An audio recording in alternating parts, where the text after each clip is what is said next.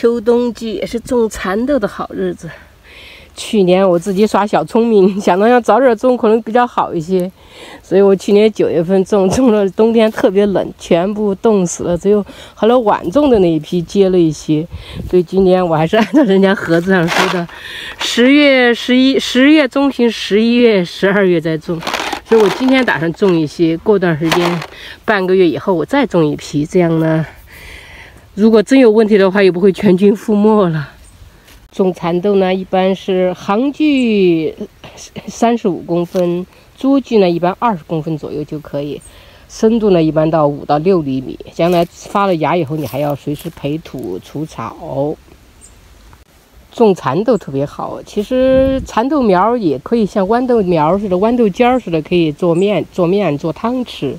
所以等于也是一举两得吧，全身都是宝。幼苗的时候你可以掐它的尖儿，因为蚕豆本身长高了以后分到几个叉儿，它也必须要掐尖儿，掐的尖儿你就可以拿来做汤、拌面条吃。然后蚕豆呢，你又可以随时可以做沙拉、做汤、做很多很多的东西。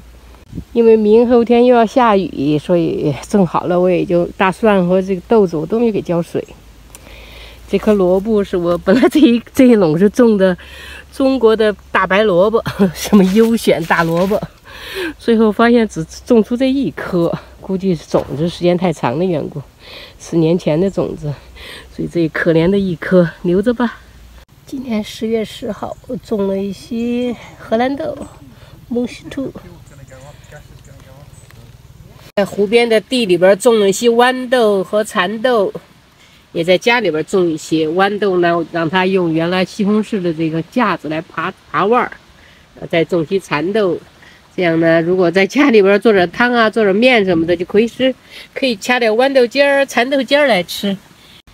这种豌豆就跟咱们国内叫荷兰豆、蒙西兔，可以吃，全部都可以吃，又可以吃豌豆，还可以吃豌豆苗、豌豆尖儿。冬季十月、十一月种蚕豆特别好，豆类特别好，因为豆类的根部它会吸引空气中的氮，所以用来改良土壤也非常好。冬天如果你不想吃豆的话，你就把它随便撒在地上，然后它就会把很多的空气中的氮吸进在根部。所以蚕豆将来的苗你也不要随便扔，把它搅碎了埋在地里边。蚕豆是不但可以吃，还可以改良你的花园的土壤。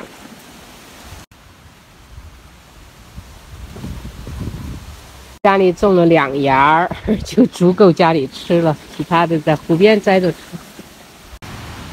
啾啾。